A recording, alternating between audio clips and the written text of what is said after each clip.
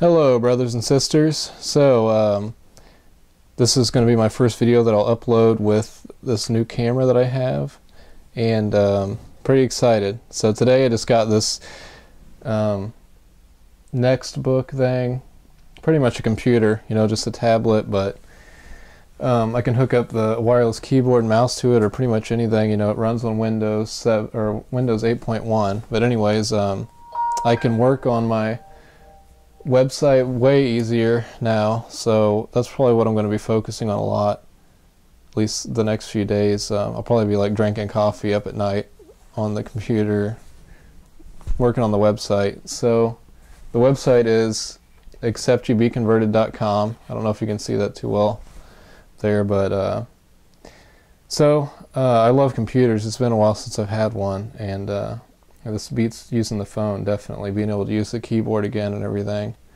So I'm loving it, and uh, so I got to. I'm gonna have to download programs to make video, to edit videos, and um, you know, I'm trying to find some software where I can record the screen and record, you know, like a webcam at the same time.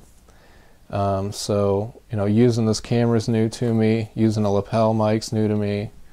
Um, so that's an, an, extra, definitely bonus to this ministry. So uh, thanks for the support. And uh, there's just a lot of things I've been studying lately. Uh, there's a video with Brian Denlinger that I uh, made about him where I talked about how in John, the book of John, Jesus told Nicodemus that he must be born again. And I thought that implied that Old Testament saints were regenerated and I still hold to that. But I don't think that I studied that as much as I should have. I was looking into it, I, but now I've looked into it a lot more, and I'm not sure exactly what um, what else I might have said in that video. But I may have said that they were regenerated, but they weren't indwelt by the Holy Spirit, and that it, that it just came on them and left, and it was different then. But now I'm starting to be persuaded that they were regenerate and indwelt by the Holy Spirit because I think that they go hand in hand. And there's just uh, there's a lot of scriptural reasons and everything why I'm not going to point out everything in the video right now, but that's something that I'm working on, and I'll probably make an article on my website first about that to get all the scriptures out and everything, and then I'll maybe make a video. And eventually, I plan on making a new channel because I can only upload 15 minute long videos onto this channel. Um, I'll probably make another channel that will go more with the website, and I'll just put like the really polished teachings that are longer on there. And I'll still use this channel a lot though, just upload videos, little teachings here and there or whatever. Um, I have a lot of plans, lots of ideas, so, but I just uh, want to, you know, I got to get used to using this computer and the programs and everything, the camera and all that, and uh, I still need to study scripture a lot um, for things that I want to teach. Uh, so your brother asked me if I thought that Satan has access to heaven still, and I don't think that he does. And that kind of ties in with the sons of God. Uh, you know, were they angels or were they men? And I don't believe that they were fallen angels. Uh, I believe that they were men. And so, anyways, in the book of Job, you know, talks about they they come to present themselves before God and and Satan comes with them. And you know, I think that just takes place on the earth. That doesn't take, have to take place in heaven. There's plenty of other scriptures where um, the saints present themselves before God. They use it uses pretty much the exact same words, and they're not in heaven. And I've heard Brian Denlinger recently make a video where he just he says that they are angels, and you know that's just the way that it is. Doesn't give any scriptures or anything. And I'm not really giving scriptures right now either, but I will uh, totally debunk that. Um, but I mean, he's asking because Revelation 12, it says, you know, that there was, you know, Satan was cast out of heaven or whatever, and then it says there was like another war, and he was like cast out of heaven again. It's like, did this already happen? And so I've, I've seen a lot of interpretations that that's like not talking about the third heaven. Um, but it's the second heaven, which is kind of confusing. Doesn't make sense, but I need to look into that a little bit more. But that's something else that I'm working on.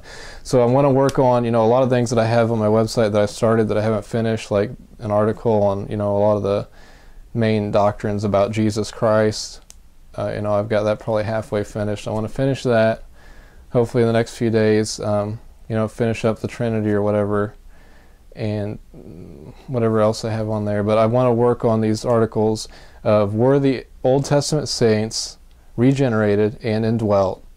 And I've, I've read a lot of that lines up with covenant theology too, which is like a reformed theology like Calvinism, and I'm totally against that. And that's something else that I want to work on studying, refuting Calvinism. But um, I don't think that you know you know you don't have to be Calvinist or anything to believe that the Old Testament saints were indwelt, were regenerated and indwelt. I think that's what the teacher the scriptures teach. I don't believe that regeneration comes before faith. Of course, there is you know a call of God. There is some kind of a work of the Spirit for a person to be able to you know choose to have faith. But I don't believe that regeneration comes before faith. It comes after faith and repentance, which are you know two of the sides of the same coin. But um, so there's lots to say about that.